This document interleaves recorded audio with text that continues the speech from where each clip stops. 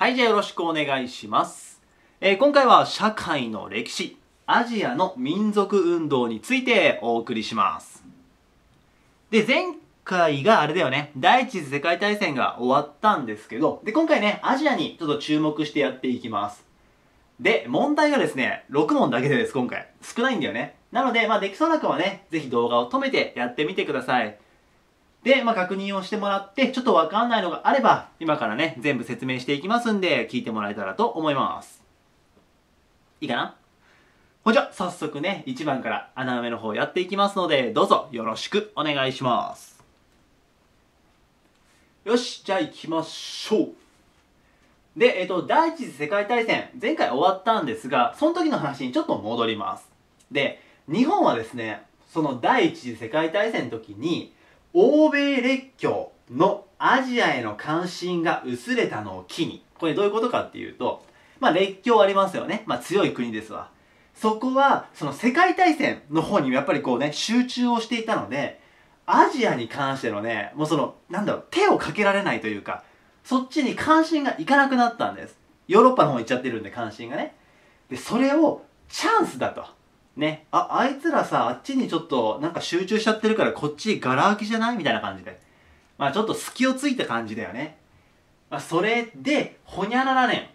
中国に対して、これね、前回も出てきましたけど、ドイツが持ってた山東省、あったね、これ出てきたね、山東省の権益の継承、つまり受け継ぐっていうのを盛り込んだあるものを強引に認めさせるんです。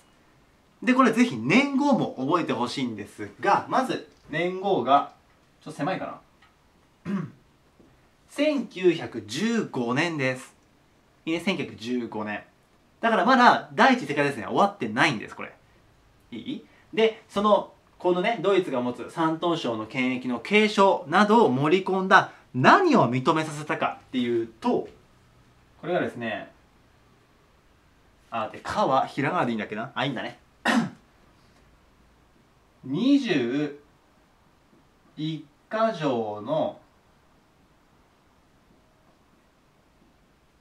要求っていうのを強引に認めさせます。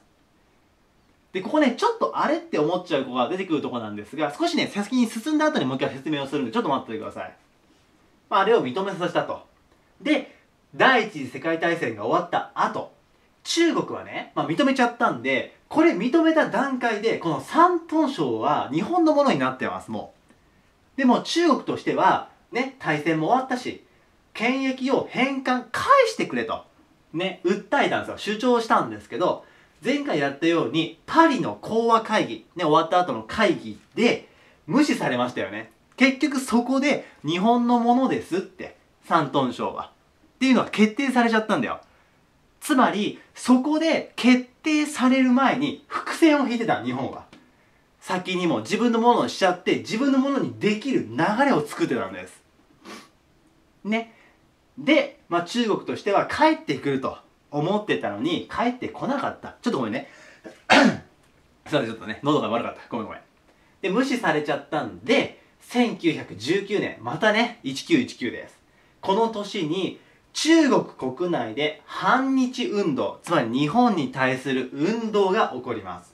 で、それをきっかけに、さらに帝国主義に反対する大きな運動に発展していきました。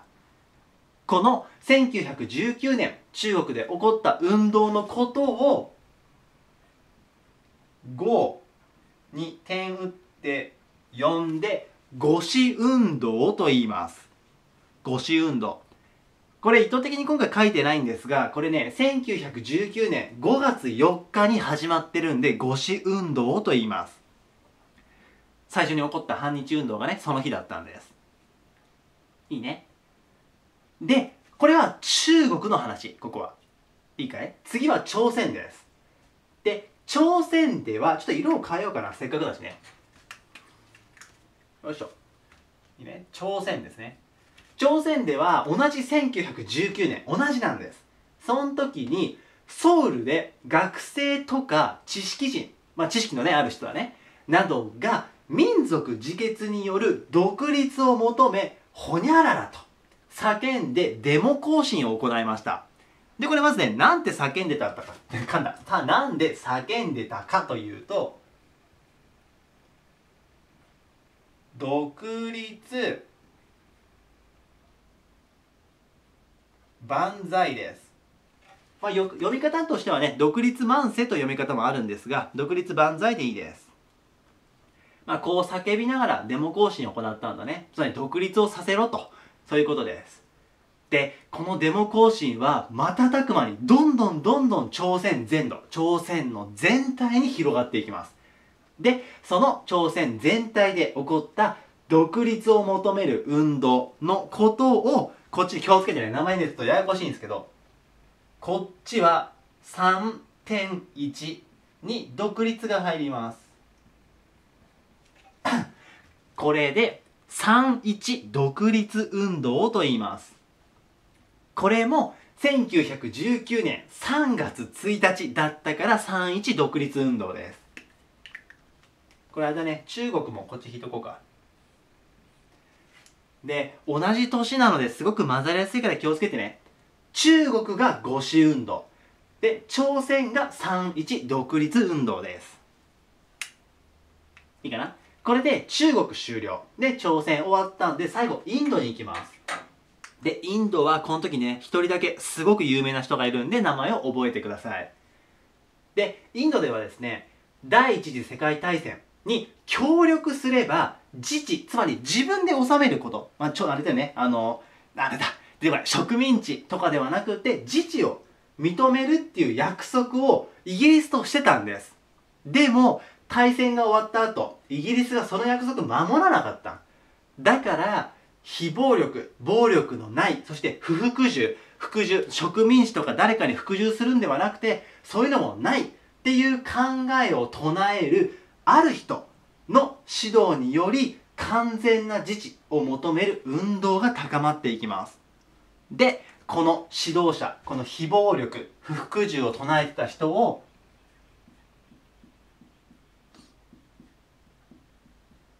ガンディーと言います。いいね、ガンディーです。この人もよく出てくるね。これがインド。ちょ、一応どこか。インドだね。いいかなちょっと国がね、3つ入ってるんでややこしいんですが、一個個分けて、せっかくね、せっかくですね、えーと、きっちり覚えてください。すいません、ちょいろいろカミカミでしたね、今回ね。では、今回は社会の歴史、アジアの民族運動についてお送りしました。えー今回もね、見ていただいて本当にありがとうございました。で、次回はですね、日本に話を移します。あのーロシア革命の時に口でも言いましたけど、1912年に日本は大正時代が始まってます。で、その大正のに入った日本がどういう感じだったかっていうのをお送りしますので、もしよかったらそっちの方も見てみてください。ほんじゃ、今回はこれで終わります。以上です。ありがとうございました。